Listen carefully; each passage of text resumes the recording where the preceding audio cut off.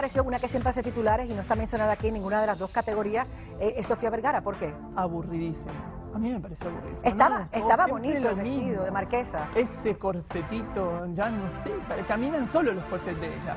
Bueno, lo único- la verdad que yo estoy loca por verla con otro modelo que no sea strapless. Le quedan preciosos y ella lo sabe. Ese estilo... es que ella tiene mucho gusto. Y aquí está mi favorita de la noche. Favorita, Margot Robbie.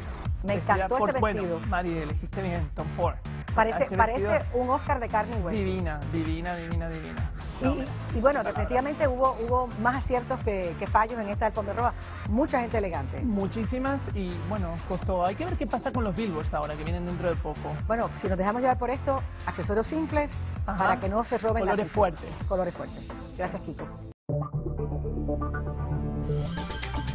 Cada vez que la vida nos estremece inesperadamente, nos damos cita e investigamos para que tú estés bien informado.